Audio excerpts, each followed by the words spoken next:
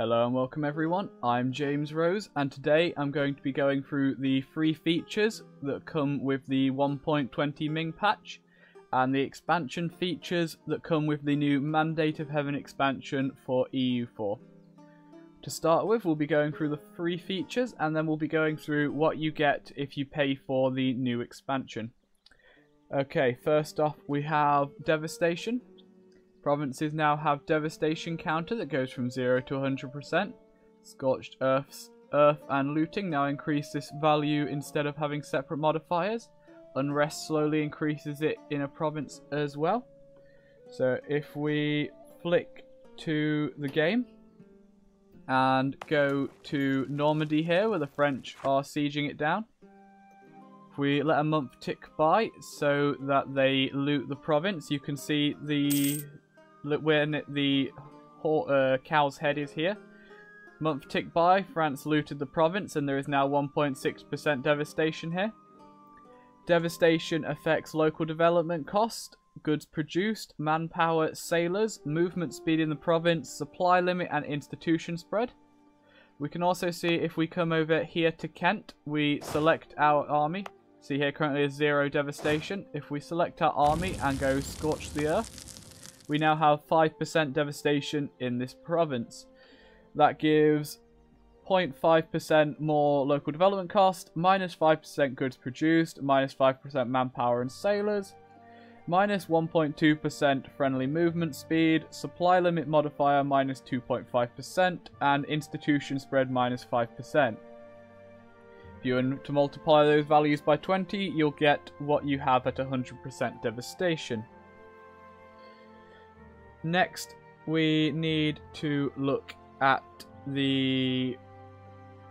Next, we have added statistics button that opens endgame statistics view in the in-game menu. That is here. So this is a view normally you will only get at the end of the game or when you quit out. Now you can access it at any time and look at how you compare to the rest of the world, how your score does against historical scores and so on. We now have, the game has four different ages. Note where you see two lines um, at the start of a paragraph or a line and a start at the end, that's where I've made a change to the official patch notes. Uh, where they've either missed things out in my opinion or where things would be better made, uh, better moved to for the video. Okay, the game now has four different ages and they move religious locks from before the year 1650 to be valid from scripting Age of Discovery and Age of Reformation only. If we go back to the game, you can see here we're currently in the Age of Discovery. We click on there. This is a view you will only get if you have the Mandate of Heaven expansion, but I'm going to use it to explain the ages. You start in the Age of Discovery. You get the Age of Reformation 10 years after Protestantism spawns. You get the Age of Absolutism 10 years after global trade spawns. And you get the Age of Revolutions 10 years after the Enlightenment spawns. What this means for those of you who don't have the Mandate of Heaven expansion, well, in the Age of Discovery and Age of Reformation, you have the religious conflicts. That means crusades can be called, Catholic rulers can be excommunicated, Reformation centres can appear, and religion impact, impacts diplomacy. After the Age of Reformation, when you enter the Age of Absolutism, these mechanics go away and you instead get the Absolutism mechanics. I'll go through them in a second. You also have, during a particular age, um, certain disasters can happen. So rather than disasters happening between certain years now, they ha now happen in certain ages. For example, here the English Civil War happens during the Age of Absolutism. Next, we have removed Absolute Monarchy from the game and replaced with a scaling mechanic called Absolutism, which is valid from the Age of Absolutism. So, if we open up our console and we go to the Age of Absolutism, then go on our country and select our government, you can see here we have a maximum absolutism value. This is the most the particular country you're playing as can get to. This is affected by a variety of things. As you, here are some examples to be seen here. As in English monarchy, we have minus 30, great power plus 5, legitimacy plus 5, religious unity plus 5, and several other things will probably also affect that. The following actions affect your absolutism in this age. As you can see, to start with, we have 0 absolutism. At 100 absolutism, you get 40% administrative efficiency and 5% discipline. Things that affect your absolutism are harsh treatment, that increases it by 1, increasing stability increases it by 1, decreasing autonomy increases it by 1 per 20 development, strengthening the government increases it by 2, increasing autonomy decreases it by 2 for every 20 development, debasing currency decreases it by 1, accepting rebel demands decreases it by 10, assign parliament seat minus 3, and reduce war exhaustion minus 1. Next, we have added better and worse comparisons to other players in the statistics page. That can be seen from the page I showed a minute ago um, in the top right hand corner. Art of War, if you have the Art of War expansion, automatic fleet transport now docks to pick up and drop off your armies where possible. So if we take our army in Kent and we tell them to go across to here, we get the automatic transport pop up then if we let the game run, our fleet will come out of London. They will come round to the Straits of Dover, dock up in Kent, and then dock up in Corks, where they will drop off our army. You can now decide to declare bankruptcy on your own, even if you have, um, sorry, if you have loans. So if we go to our economic tab, you can see here there is a declare bankruptcy button. So if we were to take a loan, we could then declare bankruptcy. For five years, that gives us the effects of interest per annum plus 5, morale of armies minus 50%, morale of navies minus 50%, manpower and sailor recovery speed minus 100%, advisor cost plus 50, tech cost plus 50, reinforcement speed minus 25, global settler increase minus 200, idea cost plus 50, monthly autonomy change plus 0.05, Institution spread minus 50 and yearly absolutism minus 2. Uh, units now have a retreat animation when they are doing shattered retreat. So for example, if we were to attack this French army here, and then we see another French army coming in, we realise we're not going to win this. So we decide, now that we can, we're going to retreat to Calais. There is a new retreat animation here. You can see our soldier limping along back to Calais. Um, strength and government now increases absolutism by plus 2. We went through that when we did absolutism. Uh, replaced old Celestial Empire factions with the new ones that better fit history and their respective roles. So if we were to tag over to the Ming, the button down here, down in the bottom right, that used to show your factions is now gone. And the Ming have factions like the factions the other countries have. Um, they have the Shizu, the Shangbang, and the Qingwangs. Um, here I added, because this isn't um, counted as a feature, they counted it as part of the interface improvements, but I thought I'd include it on the features. Added new macro building builder. Building... Uh, I should probably rename that to something better. Anyway, I'll just show it you.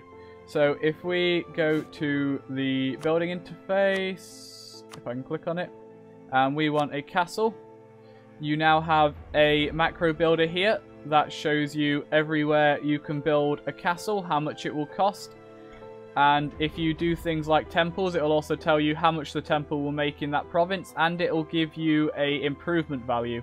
So how the game rates how good that um, building is within that province. Okay, now moving on to the expansion features for Mandate of Heaven.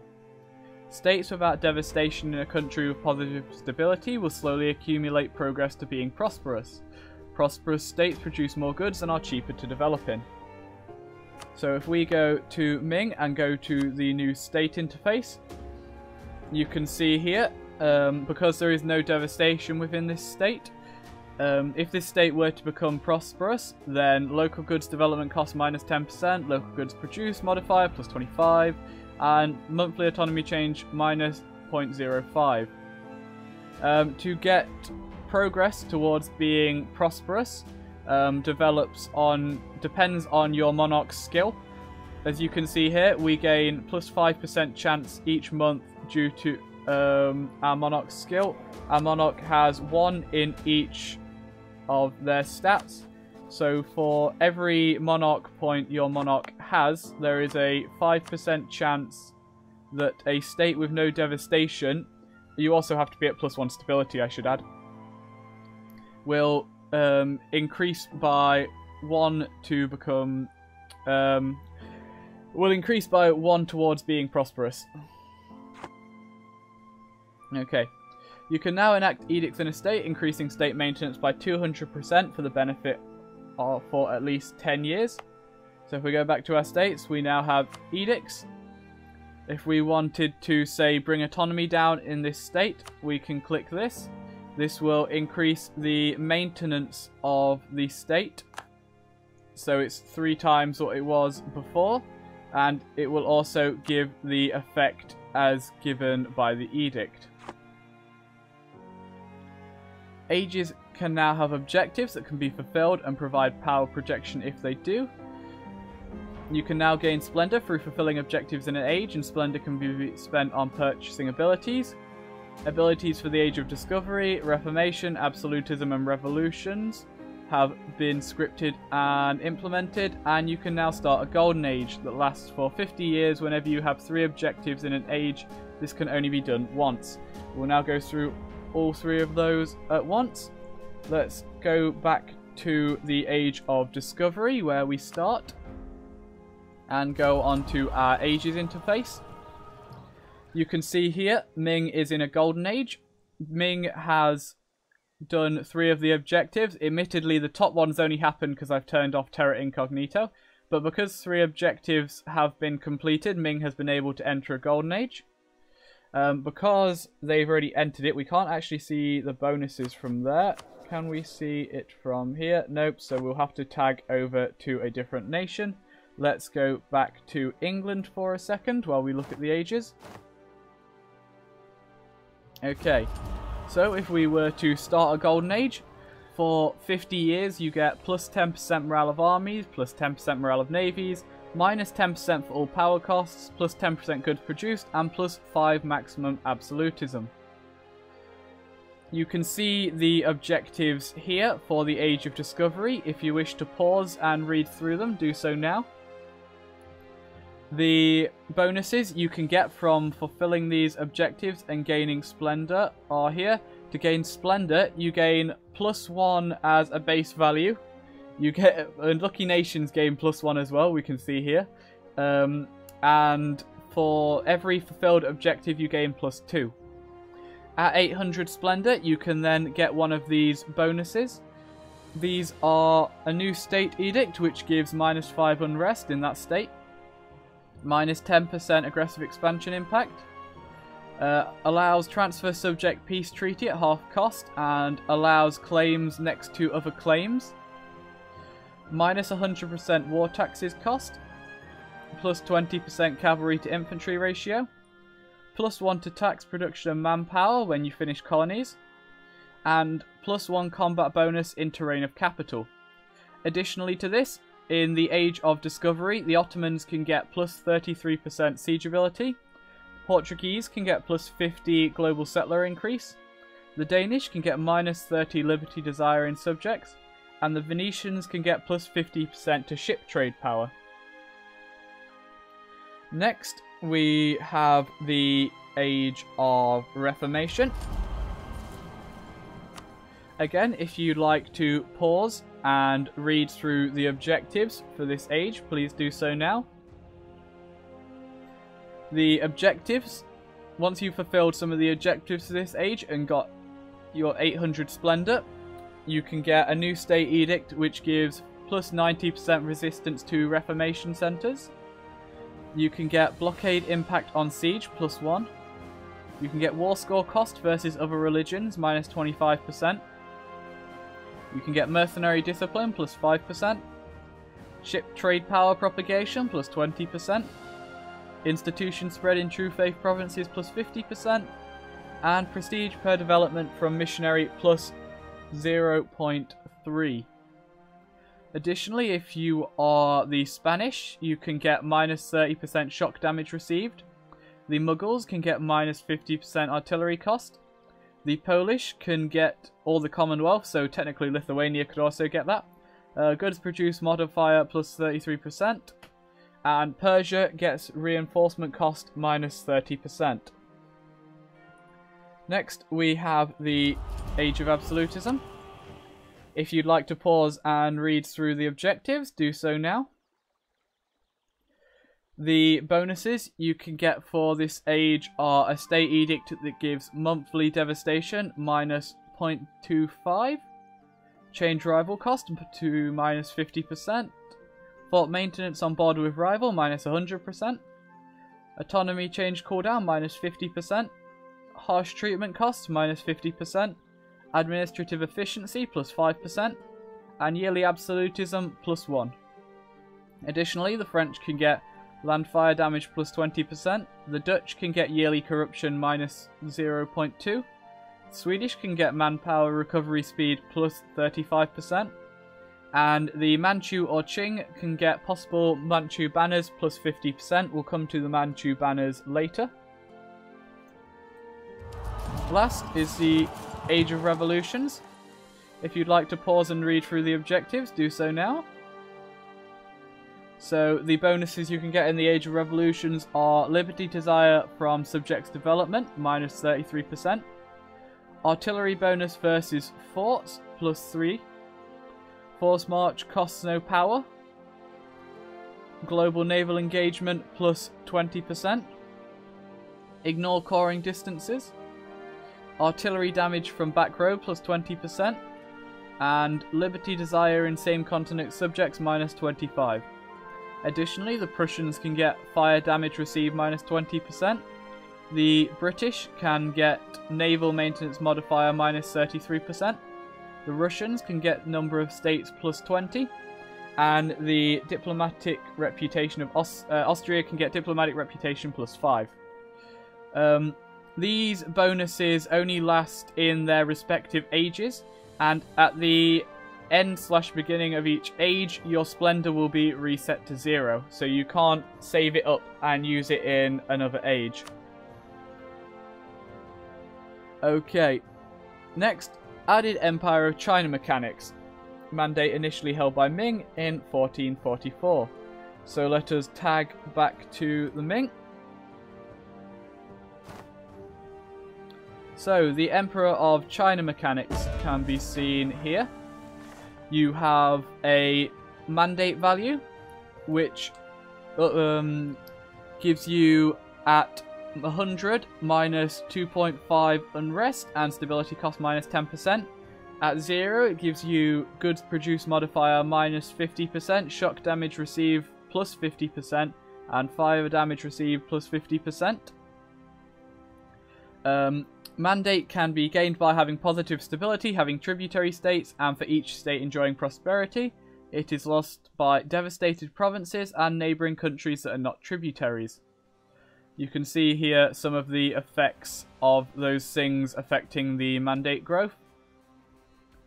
Um, the Emperor of China may take the establish tributary diplomatic action.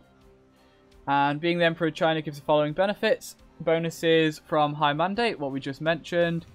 Uses of the meritocracy mechanics will come to later. Can enact centralization decisions, what you see on the right. Um, the Emperor of China gains permanent claims on the on the three regions that make up China. Um, these are North China, South China, and Xinan. Um, you get a CB to unite China, so if you don't own those provinces, you can use a CB to gain them. And you can enforce tributary on your neighbours. Um, when you have over 80 mandate, you're able to take a reform decision. The first, with this um, reduces your mandate by 50 and gives you the benefits of yearly meritocracy plus 0.5.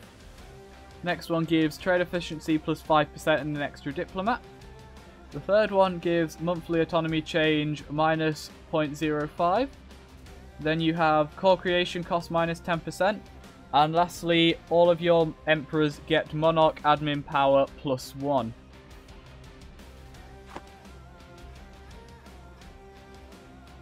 Okay, next, the Emperor of China now uses meritocracy instead of legitimacy. It decays by default and increases for each skill level of hired advisors.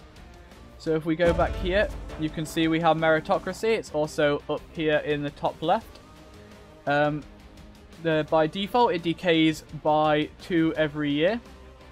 And for every skill level of your advisors, you gain plus 0.5 a year. Meritocracy can then be spent enacting decrees. Oh, and um, at high meritocracy, you gain foreign spy detection and cheaper advisors. Um, admittedly, I'm not sure what low meritocracy gives you. We'll have to continue reading through the patch notes and see if it mentions it. I haven't actually had low meritocracy while I've been testing it. Um, by spending 20 meritocracy, you can enact a decree. You can only enact one at a time. Um, there is national tax modifier plus 25%. Development cost and core creation cost minus 10%. Promote naval officers gives ship durability plus 20%. Provincial trade power modifier plus 25%. Infantry combat ability plus 10%. And fort defense plus 25%. Those can be done every 10 years and cost 10 meritocracy, as I mentioned. Countries in the Eastern Religion Group and countries with Horde government can now establish tributary states. The tributary state subject will be expected to give tribute every year in the form of ducats, monarch points, or manpower. So if we go to our subjects tab, you can see as the Emperor of China, these are our tributaries. Currently, they all just give us money. If we go to, say, Ayutthaya, we can demand administrative power, or we could demand uh, diplomatic power, military power, or manpower from our various um, tributaries. Uh, that can only be changed once a month. The subject interactions you have are bestow gifts, which decreases liberty desire, demand additional tribute, which increases liberty desire by 25%, Demand artifacts, giving you 5 prestige and increasing liberty desire by 5%. Grant them provinces, pay off their debt, and you can send them additional troops, which takes away from your manpower and decreases their liberty desire. But this can only be done when they're at war. Um, nations can now ask to become a tributary state under another nation in the Eastern religion group and or with Horde government.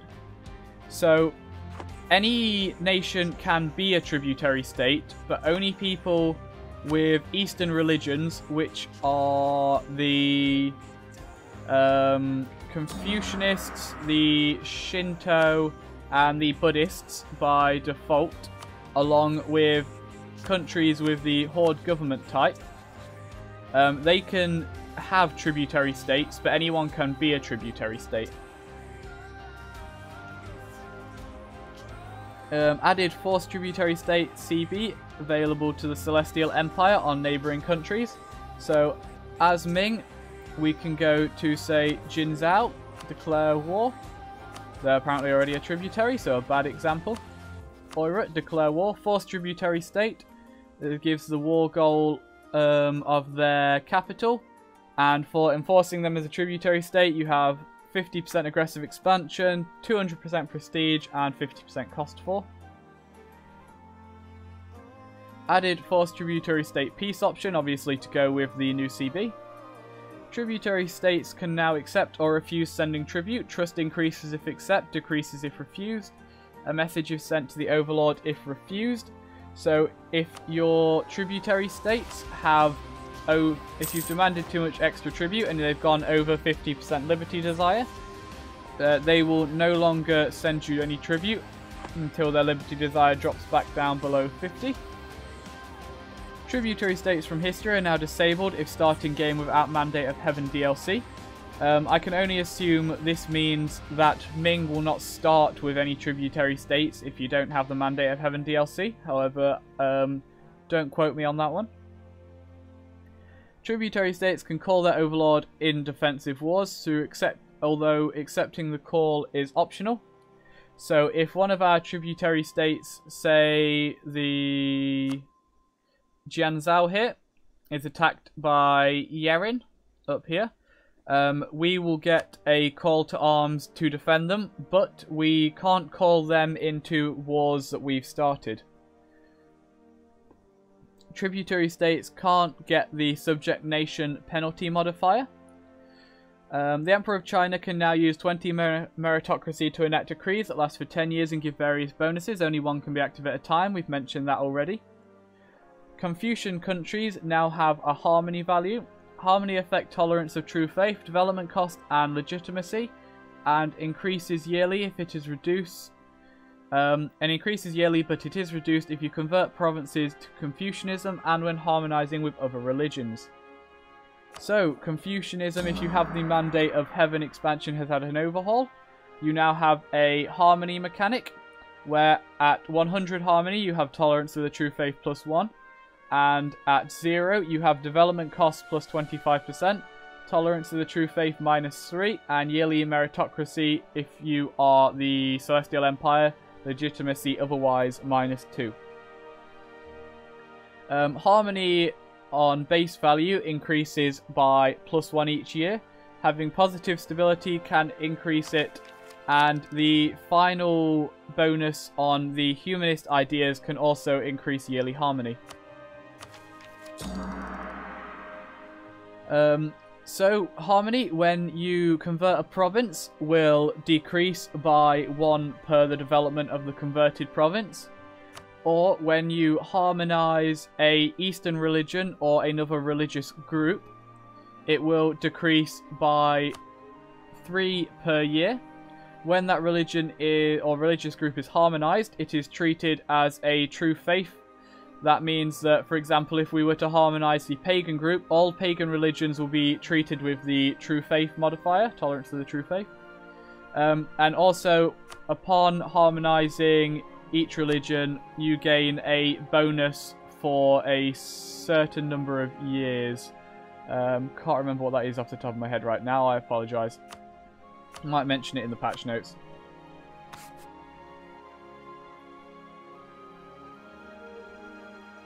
Okay, where have we got to? Confucian countries can now harmonize with other religions within their group and religion group.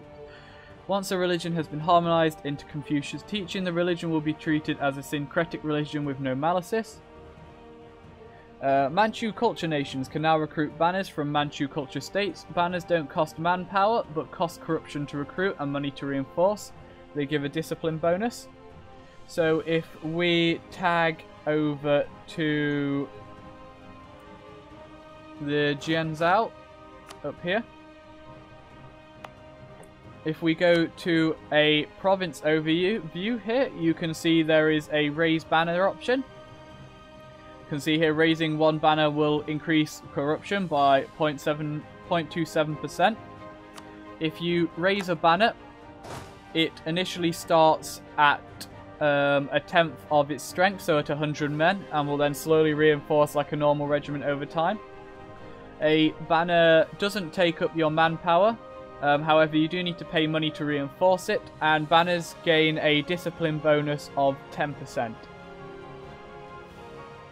Um, additionally, I should mention that that can only be done within the states that are the Manchu culture.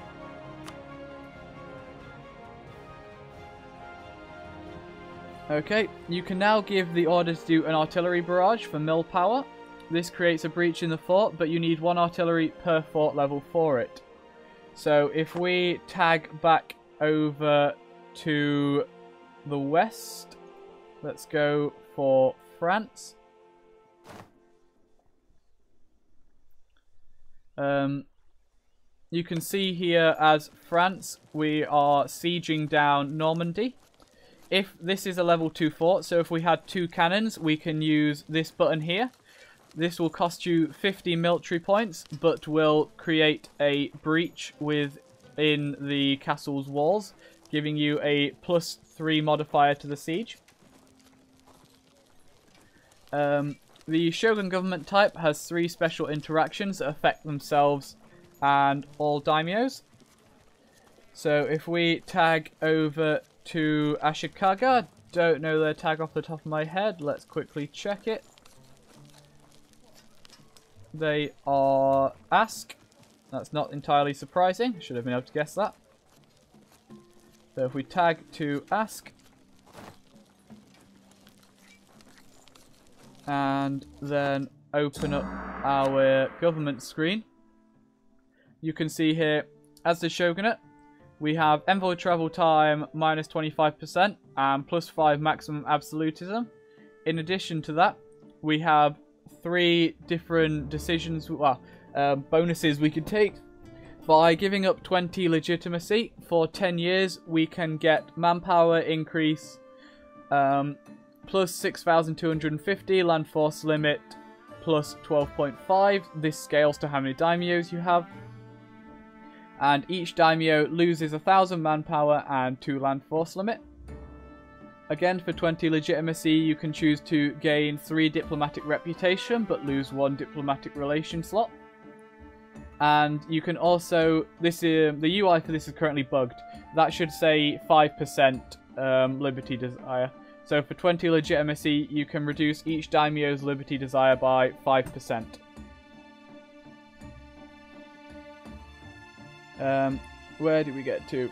Uh, five new subject interactions for daimyos. So if we go to our subjects page and click on one of our daimyos, um, the new ones for the daimyos we have are change isolationism, which we will talk about when we get to the Shinto mechanic. We can conscript their general. Uh, we can force them to contribute to our capital. They lose two development and we gain one.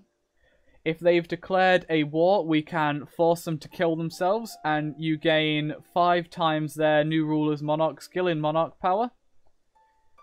And are those the five? Yeah, those are the five. The other things are basic ones for other... Oh no, sorry, return land is also a daimyo one. Um, if they hold land that other daimyos have cores on, you can force them to return it.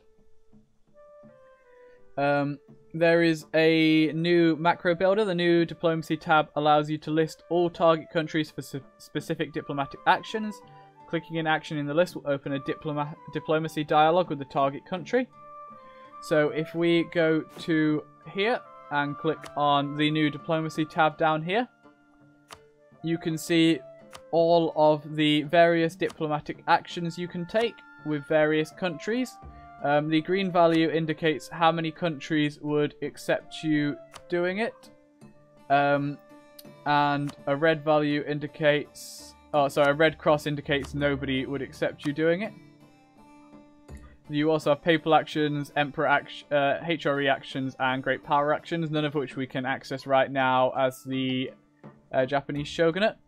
Additionally, there is also a improve relations tab, where if we free up our diplomats, um, you can choose to send your diplomats to improve relations with neighbouring countries, um, your own subjects, countries that are outraged with you, any allies you have, or threatening countries. And then your diplomats will go and do that automatically. And lastly, we have the new Shintoism mechanics.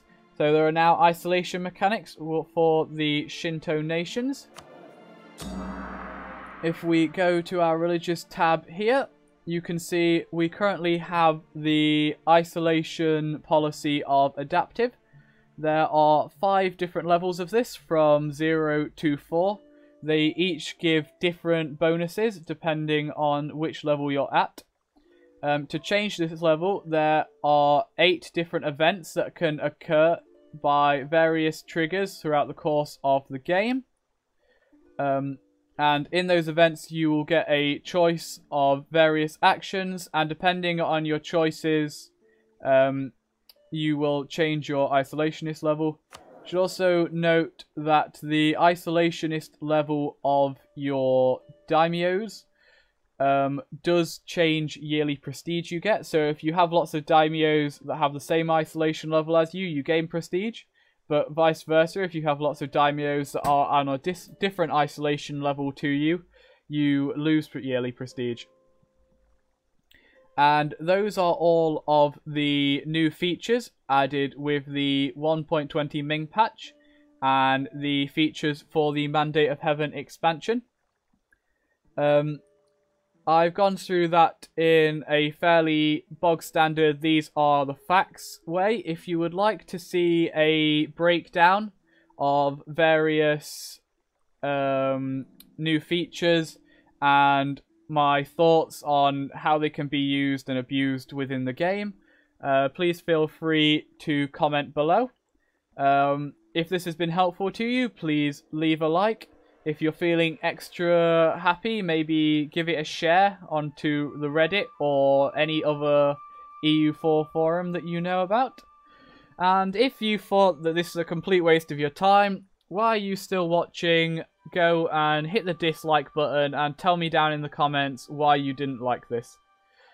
I've been James Rose, and for now, I'll be signing off. Feel free to go and check out my other videos.